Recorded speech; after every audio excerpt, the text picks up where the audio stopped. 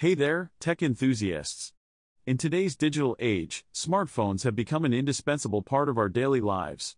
But with great convenience comes great risk.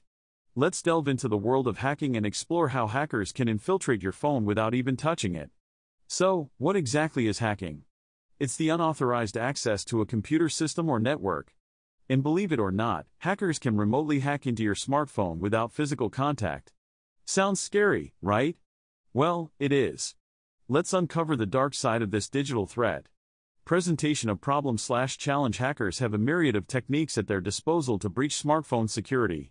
They can lure you into revealing sensitive information through phishing scams, infect your device with malware, or exploit vulnerabilities in unsecured Wi Fi networks.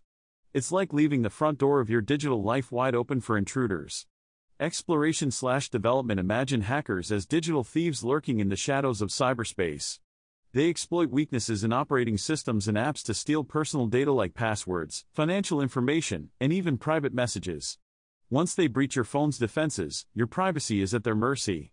It's a chilling reality that many are unaware of. Climax slash key moment now, here's the scary part. Did you know that in a recent study, over 90% of successful phone hacks were done remotely? Yes, you heard that right hackers can compromise your phone's security from afar, making you vulnerable to identity theft, financial loss, and privacy invasion. It's a sobering reminder of the dangers lurking in the digital realm. Conclusion slash summary in summary Safeguarding your smartphone is crucial in today's interconnected world. By staying informed about potential threats and taking proactive measures like enabling security features, updating your software regularly, and being cautious online, you can fortify your defenses against hackers. Remember, vigilance is key to protecting your digital identity. Call to action CTA I urge you to take control of your digital security. Enable two factor authentication, use strong passwords, and be wary of suspicious links and emails. Share your experiences and tips in the comments below to help others stay safe online.